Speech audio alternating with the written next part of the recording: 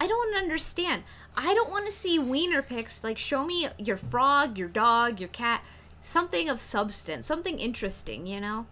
Like, who cares about a wiener? Everyone's got one, you know? Mine's usually much larger than the pics that I get. My my is usually just I, I don't know I'm so big like I'm just not impressed by the average pic. So send me frog pics. That's how that's how you impress me.